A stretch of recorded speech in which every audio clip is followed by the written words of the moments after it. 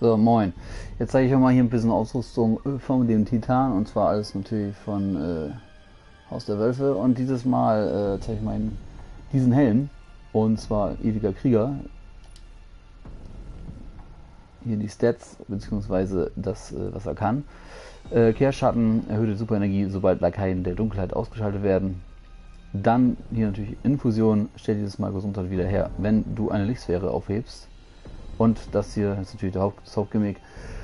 Fügt unaufhaltsam zur Chaosforce hinzu. Das muss man natürlich dann gleich mal eben direkt äh, einstellen. Also es bringt halt nichts, wenn ihr Verteidiger macht, sondern ihr müsst auf äh, Angriff. Das sehe ich hier auch gleich. Hier oben, wie gesagt, 42 Licht, 69 Intellekt und 58 Disziplin. Der Helm, der Helm erinnert mich ganz stark irgendwie an die Römerzeit, sieht aber irgendwie cool aus, hat was. Könnte auch eine Totenmaske sein, weiß es nicht. Aber schon ein netter Helm.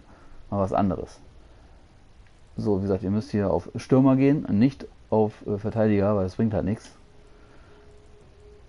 So, und noch Fallsam kommt halt, wird halt hinzugefügt, hinzugefügt, das ist das hier. Ne, ist die Chaos Force, Entschuldigung.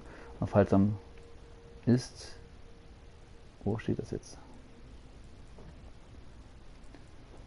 Wo war das jetzt? Wo war das jetzt? Wo war das jetzt? Da, ist noch Falzen. Das ist dann automatisch mit drin. Da könnt ihr was anderes nehmen. Zum Beispiel Schulterangriff oder halt Juggernaut. Das müsst ihr dann entscheiden. Das ist auf jeden Fall mit dem Helm inbegriffen. Das müsst ihr dann nicht anklicken. Aber ich habe es trotzdem an, weil ich den Helm gleich wieder wechseln werde. Aber wie gesagt, ne, wenn ihr Helm drin habt, dann das hier wegmachen und dann könnt ihr eins von den beiden aussuchen. Nur natürlich, wenn der Helm komplett gelevelt ist. Ja, das war der Helm. Da wollte ich gar nicht zeigen. Danke fürs Zuschauen und Zuhören.